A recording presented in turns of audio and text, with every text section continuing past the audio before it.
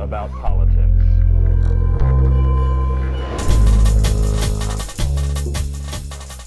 This is Buck Trace with the TrustVote Report. Ohio's decision to buy new voting machines will make the difference between hackable or less hackable elections. Let's begin by stating the obvious. All computer voting machines can be hacked.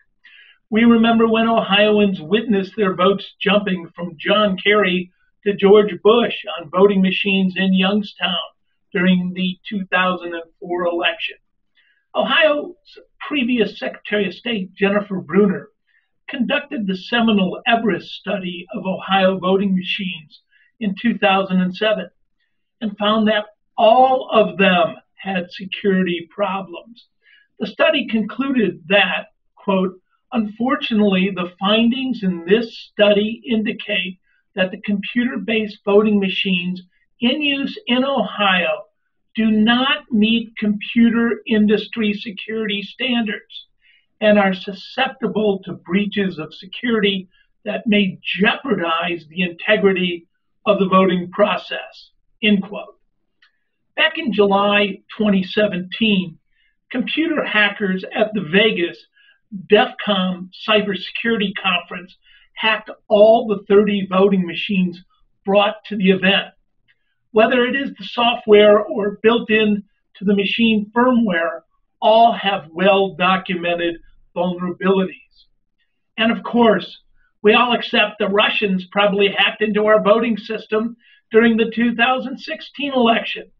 But the greatest threat to hacking the US elections is not from the Russians fooling around uh, during the election in our registration rolls, but from private, for profit companies that secretly program voting machines and election tabulators. For over a decade, the New York Times refused to conclude that voting machines could be hacked. But this February, to their credit, they published an excellent overview article entitled The Myth of the Hacker Proof Voting Machine. Yet, between now and August, Ohio's county boards of elections will be entrusted to select new computerized voting machines, despite their failures.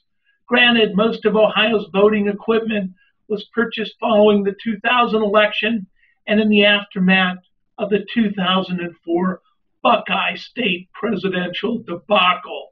However, no state should be allowed to purchase a direct recording electronic voting machine, a notorious DRE. No way.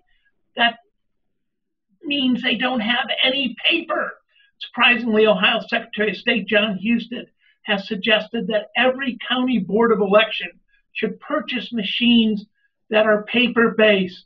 Husted's $118 million figure is based on every county purchasing a paper ballot based system a successful hack is least likely to occur on a high speed digital scanning machine, such as an OptiScan voting machine. The Free Press unequivocally endorses hand counted paper ballots at the precinct level. In New York State, county voting official Virginia Martin has used hand counted paper ballots and speaks all over the country on how easy it is to do if machines unfortunately must be purchased, what Husted has suggested and what he's demanding is the best method. Digitally scanned paper ballots with built in audit logs and electronically digitized ballot images. That's the way we should go.